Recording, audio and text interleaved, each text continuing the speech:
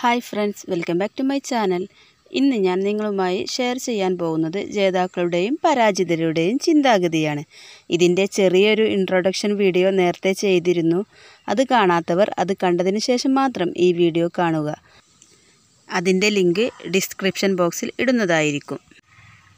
ചില വ്യക്തികളെ നമുക്ക് കാണാൻ കഴിയും. അവർ ഏത് മേഖലയിൽ ആണെങ്കിലും അവർ വിജയിക്കും. അവർ തൊടുന്നതെല്ലാം പൊന്നാണെന്ന് പറയും. എന്നാൽ മറ്റു ചിലരോ അവർക്കെപ്പോഴും പരാജയം ആയിരിക്കും. എന്തുകൊണ്ടാണ് ഇങ്ങനെ സംഭവിക്കുന്നത്? വിജയിക്കുന്നവർ എപ്പോഴും വിജയത്തെക്കുറിച്ച് ചിന്തിക്കുകയും അതിനുവേണ്ടി പരിശ്രമിക്കുകയും ചെയ്യുന്നു.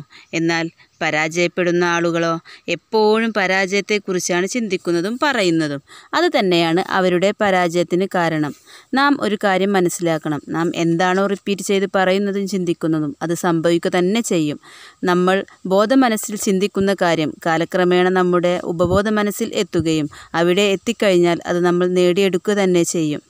എന്റെ മുമ്പത്തെ വീഡിയോയിലൊക്കെ പറഞ്ഞ കാര്യമാണ് എപ്പോഴും നാം എൻഗേജ്ഡ് ആയിരിക്കണം എന്നത്.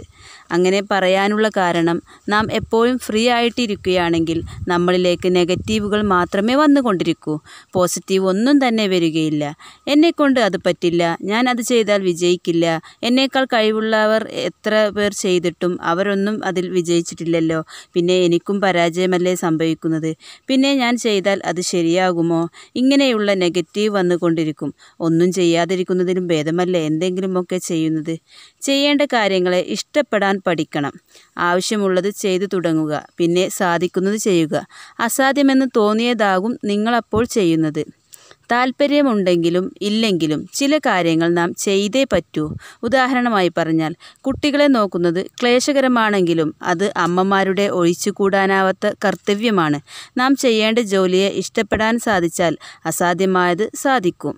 ശുഭകരമായ കാര്യങ്ങൾ വായിക്കുകയോ കേൾക്കുകയോ ചെയ്തുകൊണ്ട് ദിവസം ആരംഭിക്കുക. സുഖനിദ്രയ്ക്കു ശേഷം നമ്മുടെ ഉപബോധ മനസ്സ് ശാന്തവും സ്വീകാര്യക്ഷമവുമായ അവസ്ഥയിലായിരിക്കും. ഇങ്ങനെ ഒരു ദിവസം ആരംഭിക്കുന്നത് ആ ദിവസം മുഴുവൻ ശുഭകരമാക്കാൻ സഹായിക്കുന്നു. ശുഭകരമായ ചിന്തകളും അതിനനുസരിച്ച പ്രവർത്തന രീതികളും നിരന്തരമായ പരിശീലനത്തിലൂടെ ജീവിതശൈലിയാക്കണം. ഹാർഡ്വാർഡ് സർവകലാശാലയിലെ വില്യം ജെയിംസിന്റെ വാക്കുകൾ ഇങ്ങനെയാണ്. നിങ്ങളുടെ ജീവിതത്തിൽ മാറ്റം വരുത്തുവാൻ ഉദ്ദേശിക്കുന്നുവെങ്കിൽ ഉടൻ തന്നെ അതിനുള്ള ശ്രമങ്ങൾ ആരംഭിക്കുക. അപ്പോൾ നമുക്ക് നമ്മുടെ മെയിൻ സബ്ജക്റ്റിലോട്ട് പോകുകയല്ലേ ജേതാക്കളുടെയും പരാജിതരുടെയും ചിന്താഗതി എന്നതാണ് നമ്മുടെ ഇന്നത്തെ ടോപ്പിക്ക് ഇത് പറ്റുന്നവർ ഒരു നോട്ട് ബുക്കിലോ മറ്റോ കുറിച്ച് വെക്കുന്നത് നന്നായിരിക്കും. ഇടയ്ക്കൊക്കെ വായിച്ചു നോക്കുന്നത്. ഒരുപക്ഷെ നിങ്ങൾ ഇടയ്ക്ക് വായിക്കുന്ന വഴി നിങ്ങളുടെ ഉപബോധ മനസ്സിലേക്ക് ഇത് എത്തിക്കഴിഞ്ഞാൽ നിങ്ങളെയും ഒരു ജേതാവാക്കാൻ ഇത് സഹായകരമാകും. അപ്പോൾ നമുക്ക് ആ പോയിൻസുകൾ എന്തൊക്കെയെന്ന് നോക്കാം.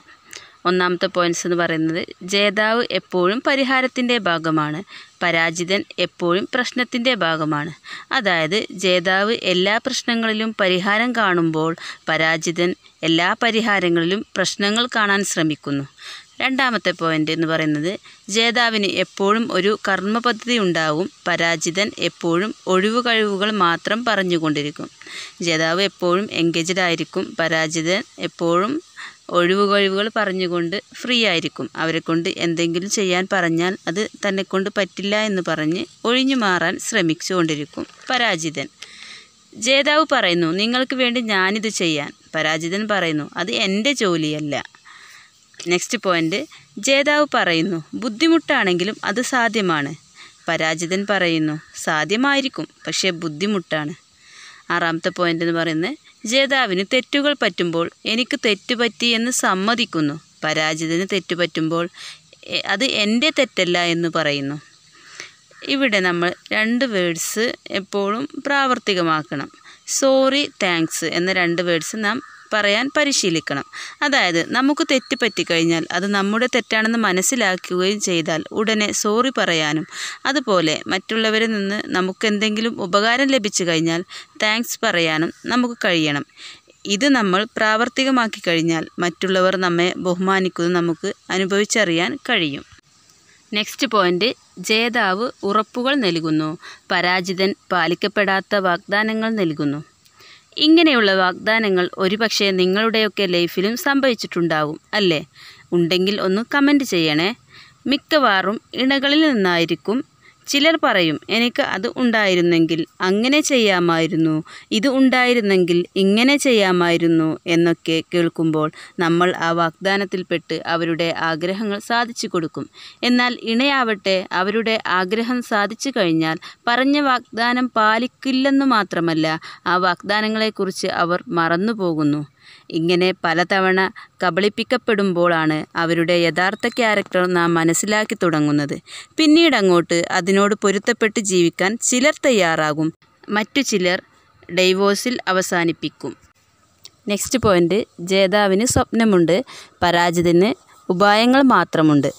ജേതാവ് പറയുന്നു ഞാൻ എന്തെങ്കിലും ചെയ്തേ പറ്റൂ പരാജിതൻ പറയുന്നു എന്തെങ്കിലും ചെയ്യേണ്ടതാണ്. നെക്സ്റ്റ് പോയിന്റ് ജേതാവ് കൂട്ടായ്മയുടെ ഭാഗമാണ് പരാജിതൻ കൂട്ടായ്മയിൽ നിന്നും വിട്ടുനിൽക്കുന്നു അടുത്ത പോയിന്റ് ജേതാവ് നേട്ടങ്ങളെയും സാധ്യതകളെയും കാണുമ്പോൾ പരാജിതൻ പ്രശ്നങ്ങൾ കാണുന്നു. നെക്സ്റ്റ് പോയിന്റ് ജേതാവ് തന്റെയും അപരന്റെയും വിജയത്തിൽ വിശ്വസിക്കുന്നു പരാജിതനാവട്ടെ. താൻ ജയിക്കണമെങ്കിൽ അപരൻ പരാജയപ്പെടേണ്ടി വരുമെന്ന് വിശ്വസിക്കുന്നു. നെക്സ്റ്റ് ജേതാവ് ഭാവിയിലേക്ക് ഉറ്റുനോക്കുന്നു. പരാജിതൻ കഴിഞ്ഞ കാലത്തേക്ക് നോക്കുന്നു. അടുത്ത പോയിന്റ് ജേതാവ് ചിന്തിച്ച് സംസാരിക്കുന്നു. പരാജിതൻ തോന്നുന്നത് സംസാരിക്കുന്നു. ജേതാവ് കഠിനമായി വാദിക്കുമ്പോഴും മൃദുവായ വാക്കുകൾ ഉപയോഗിക്കുന്നു. പരാജിതനാവട്ടെ മൃദുവായ വാദത്തിന് പോലും കഠിനമായ വാക്കുകൾ ഉപയോഗിക്കുന്നു. ജേതാവ് മൂലങ്ങളിൽ ഉറച്ചു നിൽക്കുന്നു നിസാര കാര്യങ്ങളിൽ വിട്ടുവീഴ്ച ചെയ്യുന്നു. പരാജിതനോ നിസാര കാര്യങ്ങളിൽ ഉറച്ചു നിൽക്കുകയും മൂല്യങ്ങളിൽ വിട്ടുവീഴ്ച ചെയ്യുകയും ചെയ്യുന്നു. ജേതാവ് തന്മയീഭാവത്തിൽ വിശ്വസിക്കുന്നു. തന്നോട് മറ്റുള്ളവർ ചെയ്യാൻ പാടില്ലാത്തത് മറ്റുള്ളവരോട് താൻ ചെയ്യരുത് എന്നതാണ് അയാളുടെ തത്വം. എന്നാൽ പരാജിതന്റെ തത്വം എന്ന് പറയുന്നത് മറ്റുള്ളവർ നമുക്ക് ഇതകരമല്ലാത്തത് ചെയ്യുന്നതിന് മുമ്പേ മറ്റുള്ളവർക്ക് ഇതകരമല്ലാത്തത് ചെയ്യുക എന്നതാണ് പരാജിതന്റെ തത്വം. ജേതാവ് സംഭവങ്ങൾക്ക് വഴിയൊരുക്കുന്നു. പരാജിതൻ സംഭവിക്കട്ടെ എന്നു പറയുന്നു. ജേതാവ് ജയിക്കാനായി ആസൂത്രണവും തയ്യാറെടുപ്പും നടത്തുന്നു. തയ്യാറെടുപ്പാണ് പ്രധാനം. ഒരു പക്ഷേ പരാജയത്തിൽ നിങ്ങൾക്ക് നിരാശ തോന്നിയേക്കാം. എന്നാൽ വിജയത്തിനായി ഒന്ന് ശ്രമിക്കുക പോലും ചെയ്തില്ലെങ്കിൽ നാശമായിരിക്കും നിങ്ങളുടെ വിധി. നമ്മളെ പ്രവർത്തനത്തിലേക്ക് നയിക്കുന്ന എട്ട് ചുവടുവെപ്പുകൾ കൂടി പറയാം. നല്ല കാര്യങ്ങളിൽ ശ്രദ്ധ കേന്ദ്രീകരിക്കുക ഉടനെ പ്രവർത്തിക്കുക കൃതജ്ഞതാ മനോഭാവം വളർത്തുക വിദ്യ നേടാനുള്ള ശ്രമം തുടർന്നുകൊണ്ടേയിരിക്കുക. ആത്മാഭിമാനം വളർത്തുക. ദുസ്വാധീനങ്ങളിൽ നിന്ന് വിട്ടുനിൽക്കുക ചെയ്യേണ്ട കാര്യങ്ങളെ ഇഷ്ടപ്പെടാൻ പഠിക്കുക. ശുഭകരമായ പ്രവൃത്തികളോടെ ദിവസം ആരംഭിക്കുക. എല്ലാവർക്കും വിജയിക്കാൻ കഴിയട്ടെ എന്ന് പ്രാർത്ഥിച്ചുകൊണ്ട് ഇനിയും നല്ല വീഡിയോയുമായി വീണ്ടും കാണാമെന്ന പ്രതീക്ഷയോടെ നിർത്തട്ടെ. നിങ്ങൾ ആദ്യമായിട്ടാണ് എന്റെ വീഡിയോ കാണുന്നത് എങ്കിൽ വീഡിയോ ഇഷ്ടപ്പെട്ട ലൈക്ക് ചെയ്യാനും സബ്സ്ക്രൈബ് ചെയ്യാനും കമന്റ് ചെയ്യാനും മറക്കല്ലേ? അതുപോലെ നിങ്ങളുടെ കൂട്ടുകാരിലേക്കും മറ്റും ഷെയർ ചെയ്യാൻ മറക്കില്ലല്ലോ. Thanks for watching.